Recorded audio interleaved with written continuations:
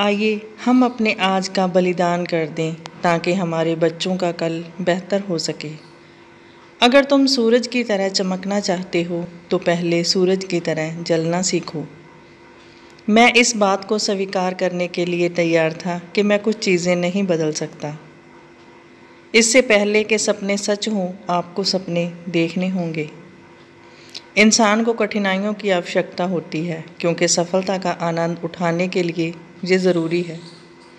मुझे पक्का यकीन है कि जब तक किसी ने नाकामयाबी की कड़वी गोली न चखी हो, वो कामयाबी के लिए पर्याप्त महत्वाकांक्षा नहीं कर सकता।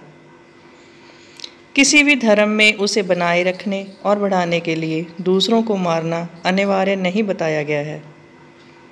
तब तक लड़ना मत छोड़ो, जब तक अपनी तय की हुई जगह पे ना पहुँच जाओ। ज़िंदगी में एक लक्ष्य रखो, लगातार ज्ञान प्राप्त करो, कड़ी मेहनत करो और महान जीवन को प्राप्त करने के लिए दृढ़ रहो। जो अपने दिल से काम नहीं कर सकते, वो हासिल करते हैं, लेकिन बस खोखली चीज़ें। यदि चार बातों का पालन किया जाए, एक महान लक्ष्य बनाया जाए, ज्ञान अर्जित किया जाए और दृढ़ रहा जाए तो कुछ भी हासिल किया जा सकता है।